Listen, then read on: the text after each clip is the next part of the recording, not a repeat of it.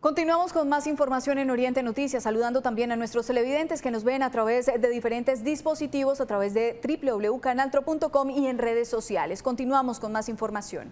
Cambiando de tema, una movida noche tuvo el área metropolitana de Bucaramanga. En el recorrido de nuestro lente nocturno encontramos a los directivos del sistema de transporte masivo de Bucaramanga Metrolínea dando una buena noticia a los usuarios. Aquí está el informe. Palabra del estudiante. Metrolínea está privatizando un bien público que ya debe ser cobrado junto con el pasaje. A las 8 de la noche culminó la negociación de estudiantes, personería y gerencia de Metrolínea.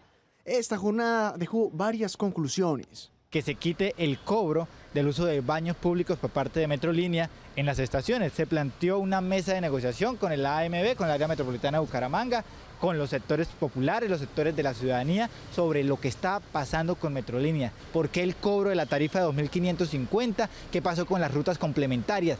Fueron cuatro horas de negociación que al final quedaron constituidas en un documento donde varios líderes firmaron.